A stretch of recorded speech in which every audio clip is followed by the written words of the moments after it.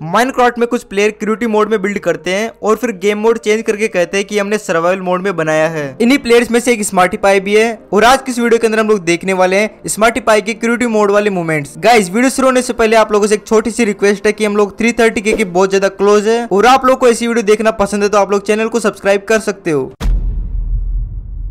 स्मार्टीपाई ने रिसेंटली एक video upload की है जिसमें स्मार्टीपाई हाउस बनाने के लिए एक प्लेटफॉर्म तैयार करते हैं लेकिन प्लेटफॉर्म बनाने के लिए स्मार्टीपाई के पास ब्लॉक्स की कमी हो जाती है तो वो क्रिएटिव मोड का यूज़ करके ही ब्लॉक्स लगाने लग जाते हैं। चलो गाइस एक काम करते हैं ना। जब भैया इतना सारा सामान आ ही रहा है तो अपने लिए एक छोटा मोटा यहाँ पे रहने का जुगाड़ कर दिया जाए, है कि नहीं गाइस इधर से बाहर चलते हैं, इधर के लिए, ठीक है ना? और यहाँ पर एटलीस्ट अपने लिए एक छोटा सा घर बना लेता हूँ है कि नहीं है? एटलीस्ट घर ही बन जाए।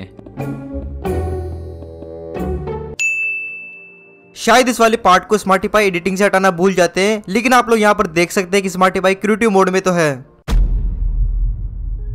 अब गाइस स्मार्टीफाई एक आयरन फार्म बनाते हैं और बहुत दूर से उस फार्म में विलेजर्स को लेके आते हैं। लेकिन एक जोम्बी उनके विलेजर के पास चला जाता है और वो एक विलेजर को मार देता है। खैर ऑफलाइन जाके स्मार्टीफाई एक और विलेजर को ले आते हैं, लेकिन फिर से उनका एक और विलेजर स्केप कर जाता है और गुस्से में आके स्मार्टीफाई उस विलेजर को किल कर देते हैं। फिर एक कट आता है और स्मार्टीफाई कहते हैं की बचे हुए दो विलेजर्स ने एक बिग विलेजर को स्पॉन कर दिया है। कमीने?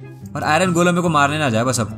यू नो भाई सीरियसली मैं अभी ना यहाँ पे तीसरे विलेज को ऊपर लेने के लिए जा रहा था, लेकिन यहाँ पर इन्होंने अपने आप ही स्पॉन कर दिया। मुझे अभी एक चीज़ पता चली है कि जो इसके मैकेनिक से कैसे काम करता है। अगर यहाँ पर एक तीसरा बेड अकेला होगा ना मतलब खाली होगा तो ये अपने आप ही ब्रीडिंग कर अब स्मार्टीफाई का यहाँ कहना है कि थर्ड विलेजर्स इन दोनों विलेजर्स ने स्पॉन किया है। तो सबसे पहली चीज़ विलेजर बेबी विलेजर को स्पॉन करते हैं, जो इन होल से इजिली स्केप कर जाते हैं। और बेबी विलेजर्स को ग्रो होने में एक दो दिन का टाइम तो लगता ही है, लेकिन आप लोग देख सकते हैं स्मार्टीफाई का हेल्थ बार और फ़ूड बार दोनों सेम है।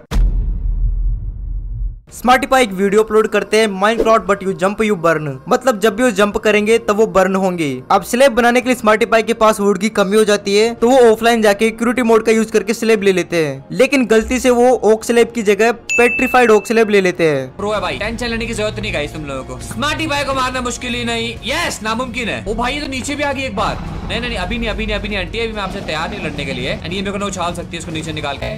यहाँ पर आप लोग देख सकते हैं कि स्मार्टीफाई के पास पेट्रीफाइड ऑक्सलेब है जो सिर्फ़ क्रिएटिव मोड से ही पॉसिबल है।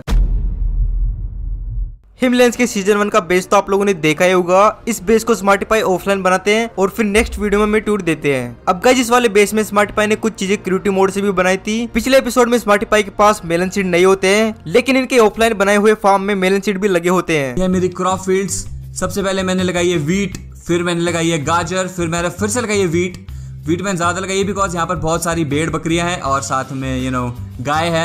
ये है मेरे वाटर मेलन्स अब मेलन सीड का मिलना वैसे भी रेयर होता है और मुश्किल से एक दो ही मिलते हैं। और आप लोग देख सकते हैं कि स्मार्टीफाई को पंपकिन और मेलन सीड लगाना नहीं आता है, क्योंकि उस टाइम वो नए प्लेयर थे, वो बस क्रिएटिव मोड में गए और जितने भी सीड उनको दिखे, इस फार्म में लगा दिया।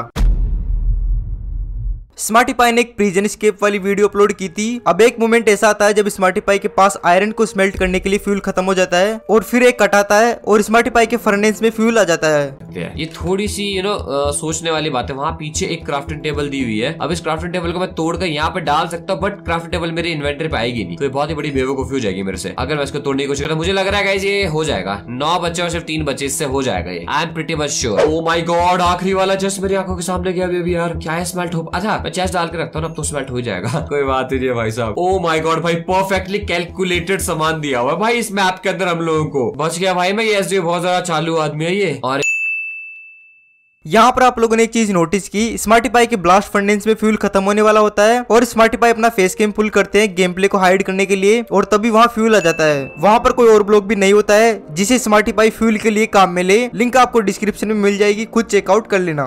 तो गैस आज की वीडियो के लिए इतना ही। वीडियो पसंद आई तो यार प्लीज़ वीडियो को लाइक करना और कमेंट करके ज़रूर बताना की आपका फेवरेट मोमेंट कौन सा है। सभी क्लिप की लिंक आपको डिस्क्रिप्शन में मिल जाएगी। मैं चलता हूँ एक और नई वीडियो बनाने के लिए। तब तक के लिए गुड बाय